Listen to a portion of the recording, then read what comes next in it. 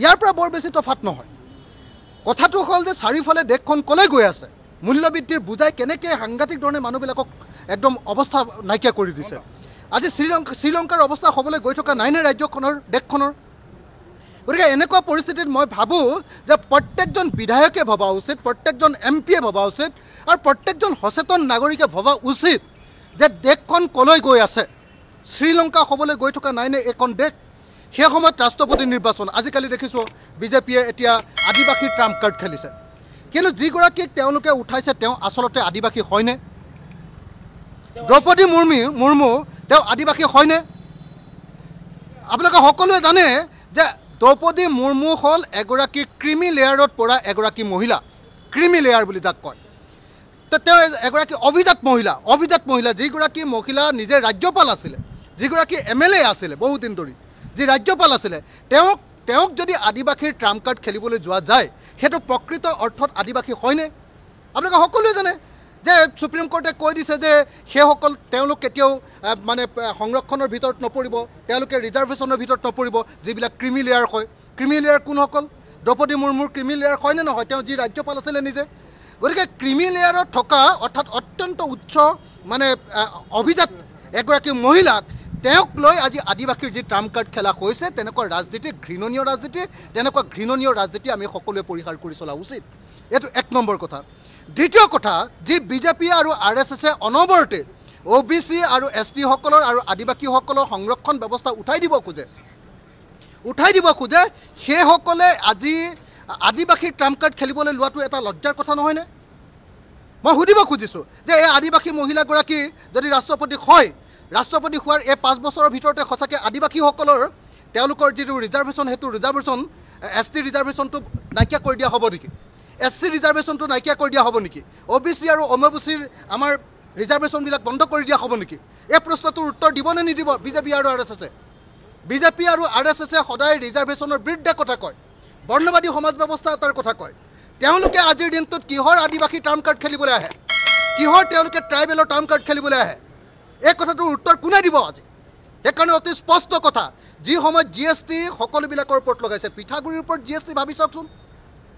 খোৱা বস্তুৰ ওপৰত জি এছ টি আটাৰ ওপৰত চাউলৰ ওপৰত জি এছ টি প্ৰত্যেকটো বস্তুৰ ওপৰত জি এছ টি ক্ষুদ্ৰ চাহ খেতিয়কৰ পাতৰ ওপৰত জি এছ টি আমি কেনেকৈ মানি ল'ব পাৰোঁ? সেই সময়ত যি সময়ত দেশখন এতিয়া শ্ৰীলংকাৰ পিনে গৈ আছে মানুহৰ অৱস্থা বেয়া প্ৰত্যেকজন মানুহ হতাশ প্ৰত্যেকজন মানুহ আজি দুৰ্বল প্ৰত্যেকজন মানুহ আজি দেউলীয়া প্ৰত্যেকজন মানুহ ৰাজ্যখনৰ অৱস্থা দেউলীয়া ৰাজ্যখন চলাবৰ কাৰণে টকা নাই। যিকোনো মুহূৰ্ততে ৰাজ্যখনৰ অৰ্থনীতি ভাগি লৈ যিকোনো সময়তে দেউলীয়া ঘোষণা কৰিবলগীয়া হ'ব পাৰে। হিমন্ত বিশ্ব শৰ্মাই কেৱল হেলিকপ্টাৰ চলাই লৈ যেনে তেনে ৰাজ্যখন যে জীয়াই আছে এই কথাটো কেৱল প্ৰতিপন্ন কৰিবলৈ চেষ্টা কৰিছে। সেই সময়ত আমি আদিবাসীৰ ট্ৰাম্প কাৰ্ড খেলি জনজাতিৰ ট্ৰাম্প কাৰ্ড খেলি যে ভোটৰ ৰাজনীতি কৰিব খুজিছোঁ এই ৰাজনীতি ঘৃণনীয় এই ৰাজনীতিক আমি কেনেকৈ সমৰ্থন কৰা উচিত নহয়। মই আৰু এটা কথা কৈ যাব লাগিব। আজি পৰহি দিনটোত অসমৰ মুখ্যমন্ত্ৰীয়ে কৈছিলে কি কৈছিলে?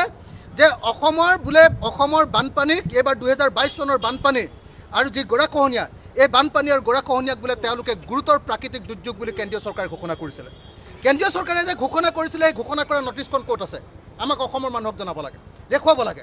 গুৰুতৰ প্ৰাকৃতিক দুৰ্যোগ আমি জানো যে কেন্দ্ৰীয় চৰকাৰে গুৰুতৰ প্ৰাকৃতিক দুৰ্যোগ বুলি ঘোষণা কৰিলে সেইটো গৃহ বিভাগে নটিফিকেশ্যন জাৰি কৰে। সেই নটিফিকেশ্যনখন ক'ত আছে? মিছা কথা কৈ হিমন্ত বিশ্ব শৰ্মাই অসমীয়া মানুহৰ পৰা আৱেগ লৈ যাব খুজিছে নহয় জানো? দ্বিতীয় কথা যে এই যে এই যে এই যে আমি মই সুধিব খুজিছোঁ যে গুৰুতৰ প্ৰাকৃতিক দুৰ্যোগ বুলি যে ঘোষণা কৰিলে গুৰুতৰ প্ৰাকৃতিক দুৰ্যোগ ঘোষণা কৰিলে তাৰ কাৰণে এটা ৰিলিফ ফাণ্ড কেন্দ্ৰীয় চৰকাৰে জৰুৰীভাৱে এটা ৰিলিফ ফাণ্ড ঘোষণা কৰে। সেই ৰিলিফ ফাণ্ডটো ক'ত? কেলামিটি ৰিলিফ ফাণ্ড এই কেলামিটি ৰিলিফ ফাণ্ডটো ক'ত এতিয়া? সেই পইচা আমি কেতিয়াৰ পৰা পাম? কেতিয়াৰ পৰা পাম? কেলামিটি ৰিলিফ ফাণ্ডত অসমৰ কাৰণে কিমান টকা দিয়া হৈছে? আৰু যেতিয়াই এখন ৰাজ্যক গুৰুতৰ প্ৰাকৃতিক দুৰ্যোগ ঘোষণা কৰা হয় তেতিয়া লগে লগে আপোনালোকে সকলোৱে জানে যে তেতিয়া আনকি ৰাজ্যখনত থকা ঋণ লোন যে বেলেগৰ পৰা যে ঋণ লয় তাৰ ক্ষেত্ৰতো মাফ দিয়াৰ ব্যৱস্থা থাকে। ঋণৰ সুদৰ হাৰো কমাই দিয়াৰ ব্যৱস্থা গ্ৰহণ কৰা হয়। সেইবিলাকৰ ব্যৱস্থা কেতিয়া গ্ৰহণ কৰা হ'ল? এই কথাটোৰ উত্তৰ অসমৰ মুখ্যমন্ত্ৰীয়ে জনাব লাগে। শেষৰ এটা কথা মই জনাব খুজিছোঁ যে অসমৰ মুখ্যমন্ত্ৰীয়ে কৈছে যে অসমৰ বানপানীক ৰাষ্ট্ৰীয় সমস্যা হিচাপে ঘোষণা কৰিলে একো লাভ নহয় এইটো বোলে অসমীয়া মানুহে কেৱল আৱেগৰ কাৰণে কৈ আছে। মই তেওঁক চেলেঞ্জ কৰি কৈছোঁ যে তেওঁলোকে বিদেশী আনিবৰ কাৰণে বাংলাদেশী আনিবৰ কাৰণে তেনেকৈ যেনেকৈ তেওঁলোকে চিটিজেনশ্বিপ এমেণ্ডমেণ্ট এক্টখন তেওঁলোকে সংশোধন কৰিছে তেনেকৈ তেওঁলোকে কেলামিটি এক্টখন নেশ্যনেল কেলামিটি এক্টখন তেওঁলোকে সংশোধন কৰক আৰু সংশোধন কৰি অসমৰ কাৰণে অসমৰ অসম ভাৰতবৰ্ষৰ ভিতৰতে চতুৰ্থখন আটাইতকৈ বেছি বানপানী হোৱা ৰাজ্য। এই ৰাজ্যৰ কাৰণে আমাৰ যি বানপানীৰ দুৰ্যোগ সেই দুৰ্যোগৰ ৰাষ্ট্ৰীয় সমস্যা হিচাপে ঘোষণা কৰিবলৈ সাহস কৰক। তাকে নকৰি ইয়াতে মিছামিছি কথাৰে অসমৰ মানুহক কেনেকৈ আবহাওয়া ভাৰি থাকিলে নহ'ব। খাটাং কথা খাটাং কথা যে বিজেপিৰ প্ৰাৰ্থীগৰাকীক হৰুৱাব লাগে। আমি সকলোৱে মিলি বিজেপিৰ প্ৰাৰ্থীগৰাকীক হৰুৱাব লাগে। এটা গছৰ মূঢ়াক আমি ৰাষ্ট্ৰপতি পাতি লাভ নাই। শাসক দলৰ পক্ষত থকা মানুহক ৰাষ্ট্ৰপতি পাতি লাভ নাই। ৰাষ্ট্ৰপতি যদি লাগে এই সংকটৰ সময়ত মাত পাতিব পৰা ৰাষ্ট্ৰপতি লাগে।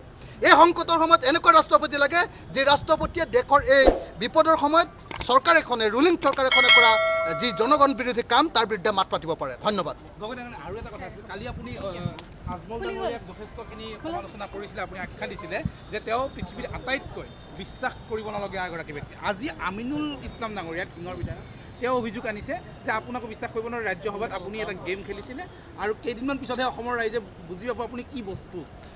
হয় মই কি বস্তুটো অসমৰ মানুহে যোৱা বিছ বছৰ ধৰি গম পাই আছে। দুহেজাৰ দুই চনৰ পৰা অসমৰ মানুহে মোক জানে। মই কি কৰোঁ কেনেকৈ কৰোঁ কেনেকৈ চলোঁ কেনেকৈ থাকোঁ কেনেকৈ কি কৰোঁ কাৰ কাৰণে কাম কৰোঁ সকলো কথা অসমৰ মানুহে জানে। কিন্তু আজমলক নতুনকৈ অসমৰ মানুহে জানিবলৈ আৰম্ভ কৰিছে। খাৰাংখাজ কথা বদৰুদ্দিন আজমল যেতিয়ালৈকে থাকিব অসম আৰু ভাৰতবৰ্ষত বিজেপিৰ সহায় হৈ থাকিব।